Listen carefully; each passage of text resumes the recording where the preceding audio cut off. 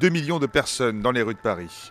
Des policiers héros applaudis, embrassés. C'était le 11 janvier dernier. Neuf mois plus tard, le souvenir a un goût amer. Les policiers appellent à l'aide.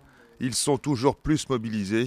La faute à Vigipirate, mais pas seulement. Les missions ont évolué, la délinquance a évolué. Le problème, c'est le manque de fonctionnaires, plus les dysfonctionnements de la justice qui forment un tout et un malaise global. Pour beaucoup, le déclic, c'était la semaine dernière en région parisienne. Un policier est grièvement blessé par un détenu récidiviste en cavale. Le nombre d'agents blessés par arme augmente. 376 en 2013, 491 en 2014. À la rue, le major Lafont la connaît bien. 22 ans qu'il intervient à Paris chaque nuit. La peur, les risques, il vit avec. En 2012, l'un de ses collègues est mort en service. On ressent beaucoup de colère, forcément.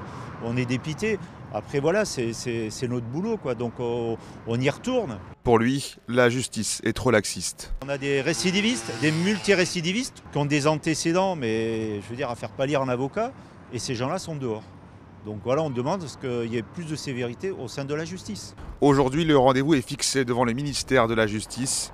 La dernière fois que la police a manifesté sa colère place Vendôme, c'était en 1983.